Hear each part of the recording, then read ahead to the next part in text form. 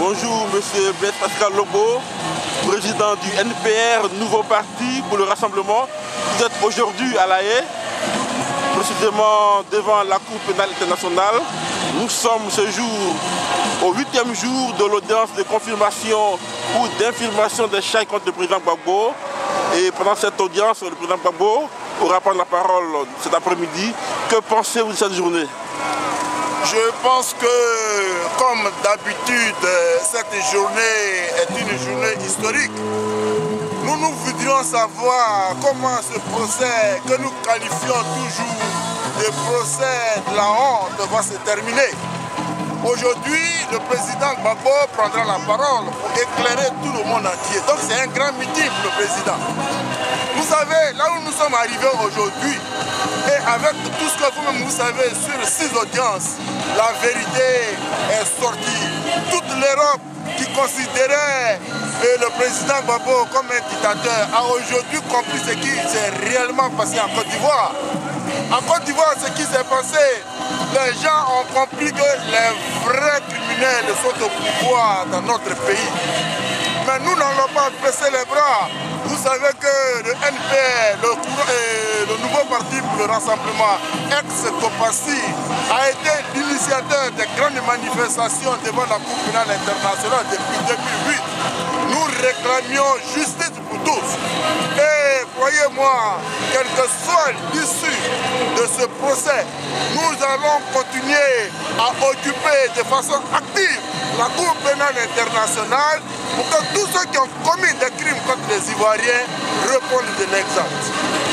Pensez-vous que ces huit jours de plaidoirie des avocats de la défense peuvent susciter de l'espoir quant à la libération du président Gbagbo? Il ne s'agit pas d'espoir, puisque tous les chefs d'accusation ont été démontés pièce par pièce par la défense. Donc il n'y a, rien à faire d'autre. La Côte d'Ivoire sera libérée par la libération du président Gbagbo. Parce que j'ai vraiment honte de cette maison qui exploite, achète des images, qui prend des images au Kenya pour inculper le digne fils de la Côte d'Ivoire.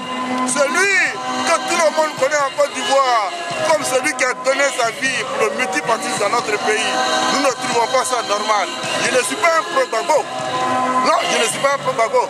Je suis un président des partis politiques qui considère qu'en Côte d'Ivoire, Gbagbo a fait l'action démocratique parce que dans le conflit qu'il a opposé à Ouattara, il a été celui qui a demandé le recomptage des voix. La seule voie démocratique quand il s'agit d'un conflit post-électoral. Nous l'avons vu aux États-Unis, nous l'avons vu en Haïti et nous le voyons à l'UMP. Il fallait recompter les voix au lieu d'appeler à la guerre. C'est Soro qui a demandé qu'il y ait la guerre en Côte d'Ivoire. Il est donc responsable direct, responsable direct de tous les morts, de tous les crimes. Peut-on penser que les avocats de Gbagbo ont tout dit et que lui-même aujourd'hui n'aura pas grand-chose à dire? Bon, ça c'est entre Gbagbo, nous, nous suivons de près les images de l'audience. Tout à l'heure, je serai dans la salle d'audience et le président Gbagbo va dire sa part de vérité sur cette crise sur laquelle il a coulé beaucoup de salive et beaucoup d'encre. Vous comprenez qu'en Côte d'Ivoire, les gens ont fait du tapage, Gbagbo dictateur, à la CPI, même la France. Oh, ils empêchent les Ivoiriens, à travers la télévision ivoirienne, de découvrir la vérité. On devait permettre à chaque Ivoirien de suivre ce procès pour que la vérité soit suivie de tous. Mais c'est la honte. C'est la honte, même la France a honte de ce qu'elle a fait en Côte d'Ivoire. Elle a aujourd'hui le devoir de réparer l'acte ignoble et historique qu'elle a posé en Côte d'Ivoire. Le 19 février dernier, jour d'ouverture des audiences de confirmation de formation des charges, les Ivoiriens étaient présents, mobilisés, qui sont encore là aujourd'hui, mobilisés pour entendre leur président parler. Que pensez-vous de cette mobilisation des Ivoiriens? Mais c'est depuis 2008, le Copassi, nous sommes là. Mais vous savez aussi que c'est depuis le transfert du président Laurent Gbagbo, les Ivoiriens continuent d'être là. C'est pour ça que j'ai dit tout à l'heure, quel que soit l'issue de ce procès, nous continuerons d'occuper cette maison de la honte, cette maison où les procureurs produisent du faux, du faux et usage de faux. Nous allons continuer à dénoncer cette maison parce qu'elle est injuste.